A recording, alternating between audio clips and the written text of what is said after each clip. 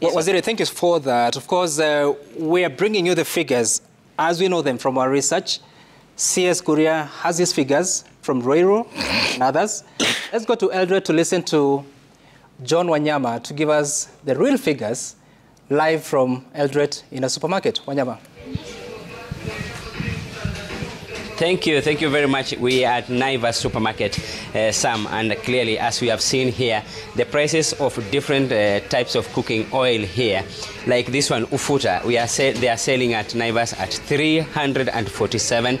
If you come here, this is Salit oil, cooking oil.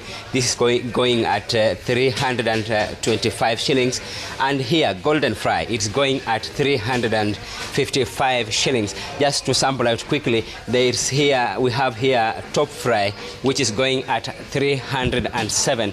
Clearly an indicator that really the cooking oil has gone up in their prices since maybe in the few years or few months ago. The, those who have, whom we have talked to, they are saying it has gone up to maybe three times of what they used to buy. That is what we have found here at Naivas supermarket. Sam.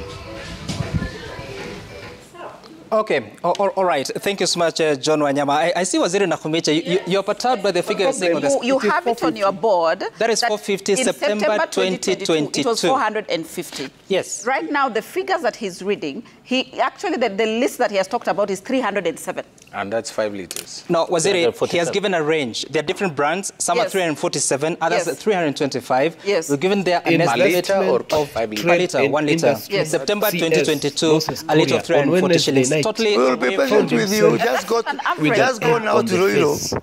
After That's he not made a- Go to Ruiru. Yes. Set a crew there. We are here for two hours. claims What's the on hurry live for? TV and was You're here for two hours. checked only a few You went to minutes Ruiru. Okay. Ama uende Why nini? should he go to Ruiru? There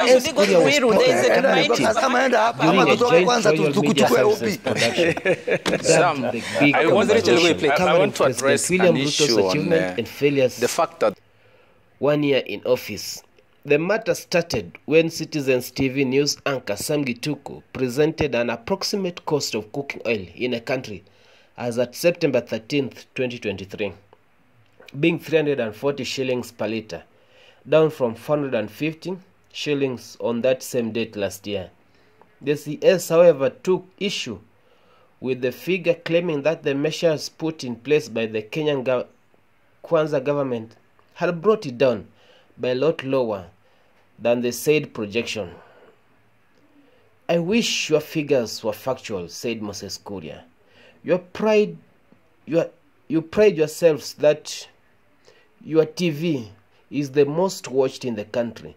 So don't forget that somebody is watching you from a supermarket. So be careful, he said.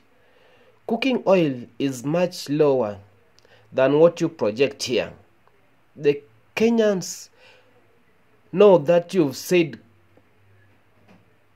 correctly that the prices has come down, but it's not even to the level you have said it. It is by 50% lower since we came to government.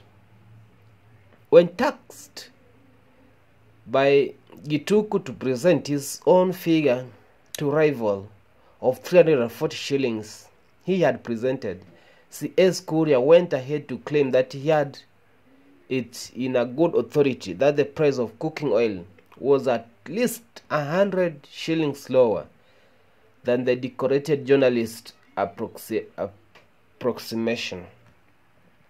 It is much lower than that. It is even in the region of 230 to 240 shillings.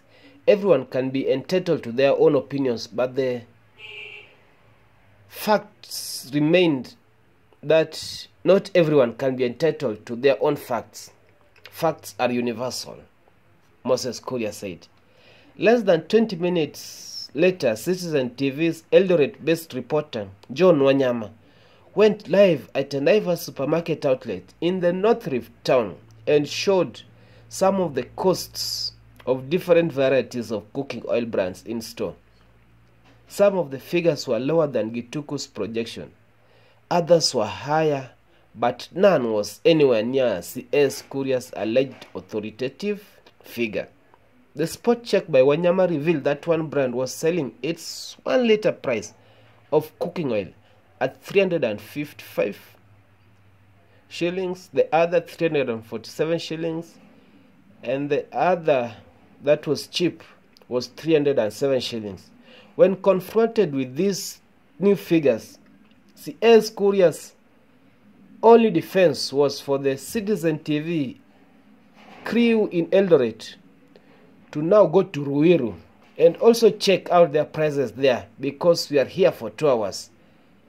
He said there is no hurry. Share your views, comments. As you remember to like, subscribe, and view the channel.